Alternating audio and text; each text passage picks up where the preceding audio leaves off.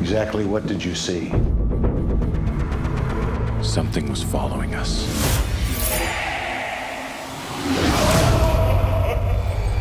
This is the most horrific event this town has ever seen. Authorities are calling this the Valentine's Day Massacre. In the town of Harmony, something unexplainable Hello? is happening. Come here, you better check this out. What is it?